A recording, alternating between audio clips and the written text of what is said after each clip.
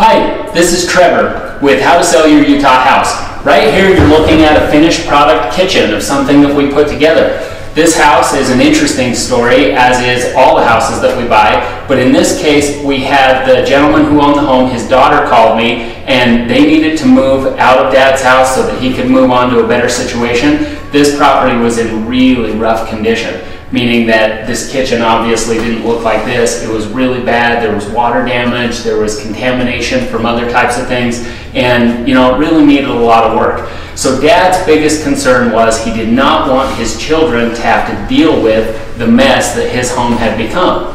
So we purchased this home. As you can see, we've done a, free, a full remodel in the kitchen here, and we'll get some other shots of around the house.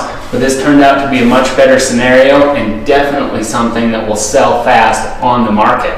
This house, we put it on the market and we had, I think we had eight showings in about uh, a day and a half and we received three offers that were competing and bidding up on this house and we you know we took the best offer that we could with no closing costs and you know it's going to be a good scenario for everyone involved dad the kids and also for us we like to buy Utah houses.